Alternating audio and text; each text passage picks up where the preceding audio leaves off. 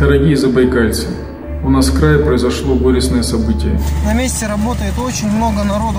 Автобус Сретенск-Чита Страшно. слетел с моста, перевернулся и упал.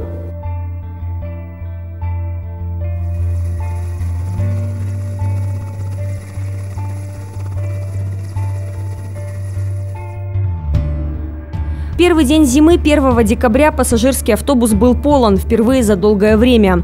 Оказалось, после страшного ДТП под Агинском люди перестали доверять маршруткам. Решили, большой комфортный автобус точно безопасен, но судьба распорядилась иначе.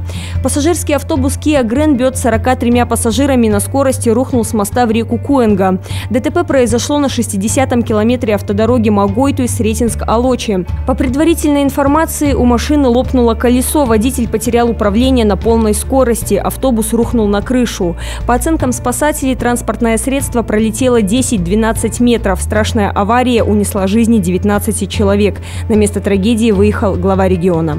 Правительством края будет оказана помощь, поддержка всем тем, у кого сегодня с травмами в больницах близкие, всем тем, кто близких потерял.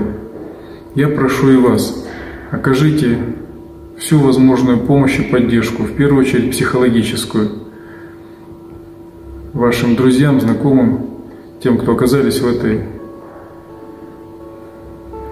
трагической ситуации.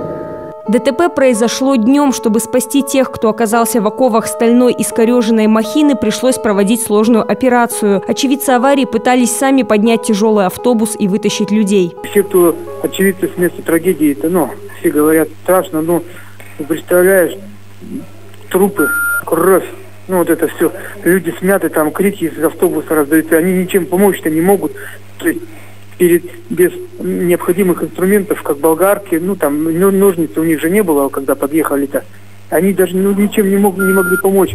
В результате слаженных действий МЧС и других структурных подразделений автобус удалось перевернуть краном. После того, как срезали крышу, начала поступать первая информация о тех, кто погиб. Среди местного населения не просто творится кошмар, местное население просто подавлено и в шоке, а, потому что такого масштаба в районе трагедии еще не было никогда. Большинство народа как бы объединилось вокруг беды и пытаются помочь друг другу. Вот это как бы радует, с одной стороны. С другой стороны, это очень и пугает, потому что, ну, люди пытаются теперь найти виноватых в этой трагедии. Все, кто ехал в роковом автобусе и чудом выжил, утверждают, водитель ехал быстро, пассажиры просили не гнать. Люди, которые говорят, они заметили, что водитель ехал как-то не так, как обычно. Скорость была намного выше, чем обычно. Вот это они заметили все. Может, что порушка, не то, что порушка была, была заметено. Всех тех, кто чудом пережил страшный кошмар, увезли в Шилкинскую и Нерчинскую ЦРБ и в Сретенск. 1 декабря в 23.30 несколько человек доставили на машинах санавиации в Читу и их отправили в краевую клиническую больницу. Прямо сейчас представители СМИ и 7 бригад скорой помощи встречают пострадавших в страшной аварии Чита-Сретенск. По предварительной информации, 6 человек находятся вот в этом самом вертолете. В первом вертолете привезли четверых, во втором – двоих. Дорога каждая секунда. Пострадавших переложили на каталки и передали коллегам-медикам. Пациенты, которых мы эвакуировали, они стабильны. Из восьми госпитализированных Нершинскую ЦРБ шестерых мы транспортировали двумя бортами, двумя вертолетами в краевую клиническую больницу. Состояние их тяжелое, стабильное.